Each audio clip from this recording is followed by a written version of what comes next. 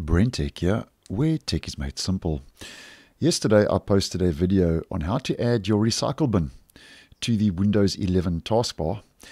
And as I mentioned in that video, which I'll leave a link to in the description, you can add or remove the recycle bin from the desktop, but Microsoft does not make it easy to add or remove it from the taskbar in Windows 11.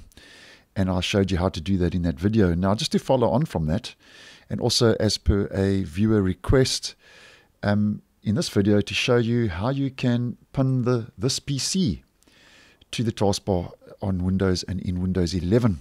It's a very similar process and and once again um, you can add this PC and remove this PC from your desktop but Microsoft does make it quite difficult to add it to your taskbar in Windows 11. So following a very similar process, if you'd like to add my computer, this PC, uh, to your taskbar, just start off by right-clicking on your desktop, head to New, Shortcut, and uh, in the type location of the item, once again, I'll leave these instructions uh, in the description for you to copy and paste just to make it a lot easier as that's quite a mouthful. So copy and paste that information into the field. Click on Next. Type a name for this shortcut. Um, obviously, you can call it my computer, this PC, or anything else. I'm just going to type in this PC. And then you click on Finish. And now you'll see you have a this PC folder, but that doesn't look like this PC or my computer.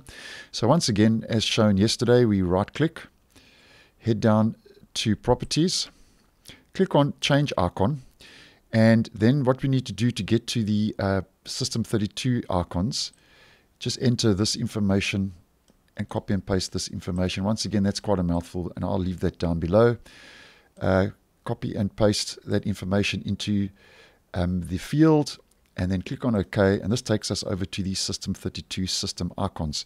Now we've got quite a bit of clicking to do here to get to this uh, a this PC icon. And I hope I don't miss it because this goes quite fast and I don't want to waste time for the video. But there we go. And of course you can choose any icon. So there we go this PC OK apply Okay, and there we go, this PC. And the same as I did post yesterday, right click on that desktop shortcut, head down to show more options, and yeah, you'll see pin to taskbar. And there we go, we have our this PC or my computer, whatever you've, you've called it, pinned to your taskbar, and we can actually delete that desktop shortcut. And now when I click on that, there we go, it opens up this PC and all the information pertaining to this PC. Now, um, if this does open up, as an example, um, in Windows 11 on your home page, uh, it's quite simple to change.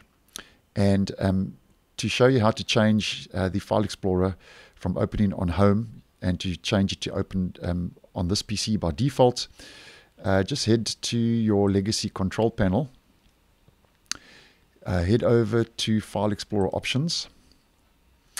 And yeah, you'll see Open File Explorer 2 home, click on this PC, click on apply, okay, head back, and now when you click on that, if it was opening up on home or your user folder, it will now open up with your device drives and this PC. So that's just a quick and simple way on how you can add this PC uh, to the taskbar in Windows 11. So thanks for watching, and I will see you in the next one.